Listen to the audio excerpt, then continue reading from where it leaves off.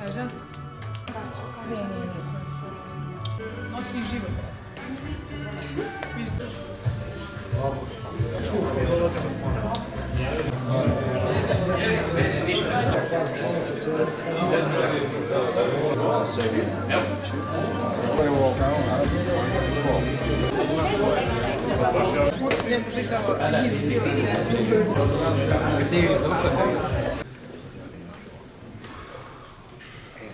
A vidite da sam dobro raspoložen, a raspoložen sam zato što smo se sakupili jednim lepim povodom da promovišemo ženski futbalski klub Crvena zvezda i želim odmah da se zahvalim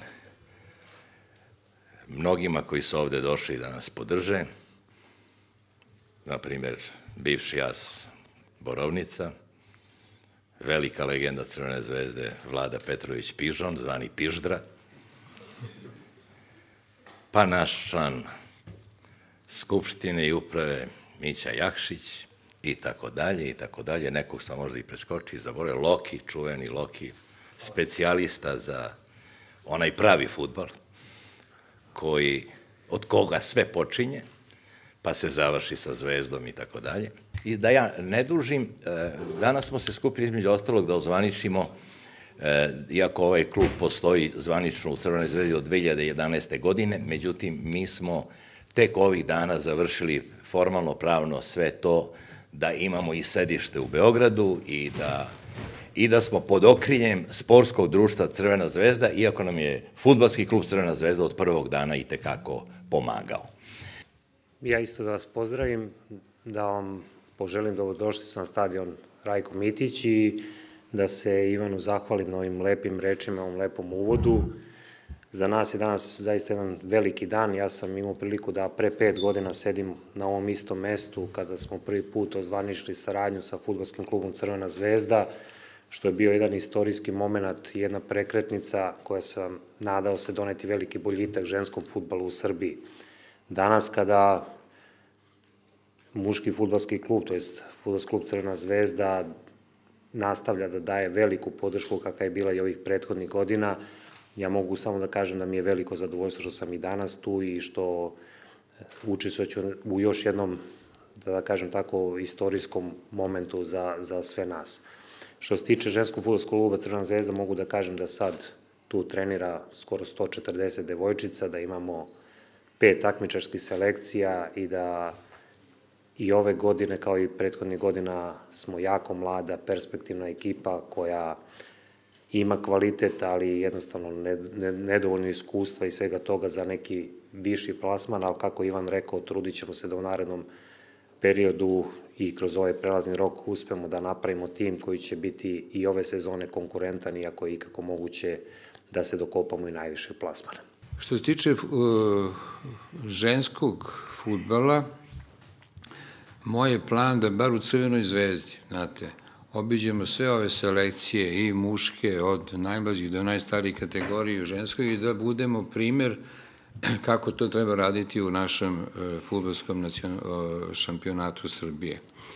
Mi smo na osnovu te inicijative koje smo preduzeli da bi ispoštovali pravila i savete UEFA, medicinske komisije, obavili jedan e, stručni seminar u Staroj Pazovi i e, po sistemu ovaj, kako smo pristupili organizaciji i tako dalje, tako dalje, UEFA nas je stavila na sajt e, kao primjer kako treba raditi te preglede u nacionalnim šampionatima. Znači, mi smo na neki način se pokazali da to, neću reći, bolje radimo od ovih razvijenih zemalja Evrope, Nemačke, Engleske, Francuske i tako dalje, ali ipak to je jedna pohvala što se tiče e, rada u zdravstvenoj komisiji Futbolskog saveza Srbije. Želim pre svega da vam se zahvalim na poseti. Iskreno, malo sam iznenađen, prijatno, naravno, ovaj, posetom javnih, odnosno sredstava informisanja. To nije bilo do sad ovaj, u praksi. Mi smo, nažalost, bili, ne mi kao zvezda, nego ženski futbal, rekao bih, u nekoj blagoj medijskoj ilegali, pravo da vam kažem, ne znam racionalan razlog, ali tako je bilo i mislim da je sad ovo pravi način da menjamo praksu, jer ste vi ti koji treba da zajedno sa nama radite na popularizaciji ženskog futbala. Izuzetno mi je zadovoljstvo što sedim danas zajedno sa vama, što sam u društvu i futbalskih legendi i sportskih radnika, pre svega mislim na gospodina Tozu, kome dugujemo velike, veliku zahvalnost za sve ono što je, što je pruži, što će, nadam se, pružiti u daljem radu ženskom futbolskom klubu Crvena zvezda. Verujte, e, nije lako ni muškom futbolu, a tek ženskom možete da zamislite sa koliko se problema susrećemo. E, mogu da kažem da se borimo, zaista se borimo, zahvaljujući što u upravi imamo entuzijaste, što u stručnom štabu imamo volontere, zaista se borimo i da nije o želje koju mi imamo i volje da ovaj ženski klub živi, sigurno bi se do sada odavno ugasio. A znate i sami da je Zvezda brend i ženski futbolski klub Crvena zvezda kao brend mora da bude motor pokretač ženskog futbala u Srbiji. Ni u jednom trenutku ne želim da umanjim značaj drugih ženskih futbola koji su isto tako dobri.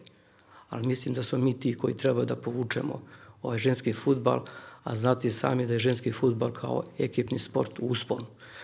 Nažalost, u prošlom nekom sazivu, odnosno u prošlom sazivu, Futbolski savjet Srbije nije baš to prepoznao. Ja se zaista nadam i gajim nadu veliku da će e, budući saziv Futbolskog savjeza Srbije to prepoznati i da će dati ovaj mesto ženskom futbalu, ženskom futbalu odnosno da će dodeliti pravo mesto samim tim i nama kao zvezdi. Ja se zahvaljujem pre svega ženskom, muškom futbolskom klubu Crvenoj zvezdi za sve ono što je radio za nas i što će raditi. Bila su teška vremena, kako je e, muški klub bio u problemima, tako su i mi te probleme osjećali. Naravno, zaista je bilo teško, međutim, bilo je tu ljudi koji su nam pomagali. Ja moram, pored ostalih, pomenuti dva imena, to je predsjednik opštine Stare Pazove, Đorđe Radinović i e, e, Dejan Dimitrijević.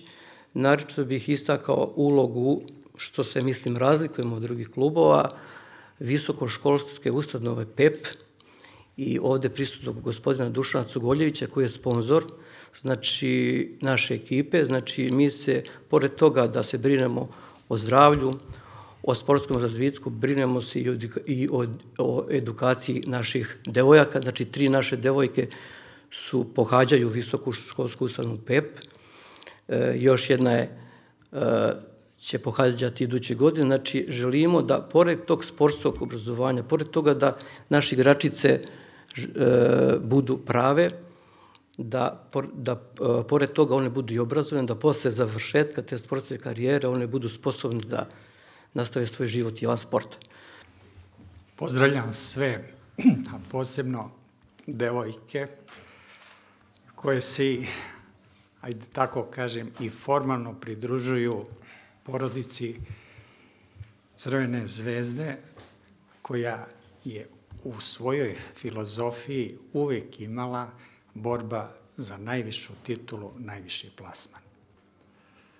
Crvena zvezda, ovaj muški deo, mada futbal se ne deli na muški i ženski, po prirodi futbal je futbal. Ista pravila važe i kod muškaraca i kod žena.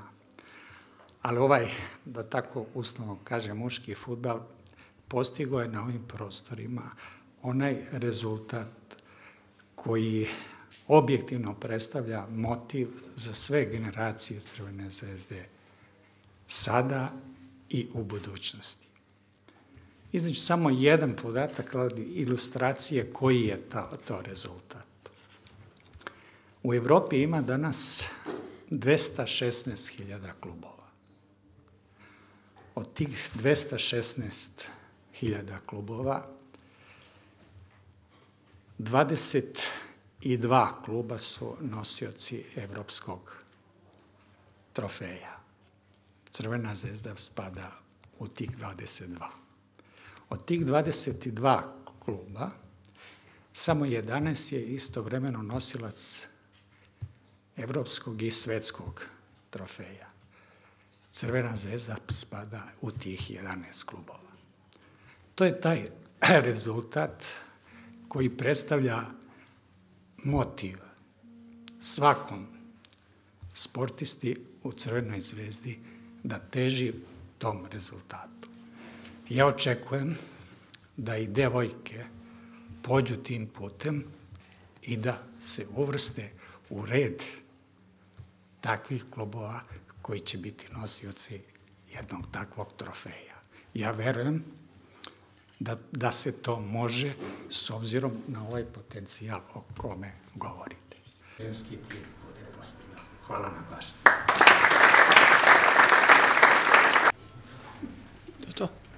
Ništa, želim našim devojkama da ozbiljno shvate ove lepe poruke koje su dobile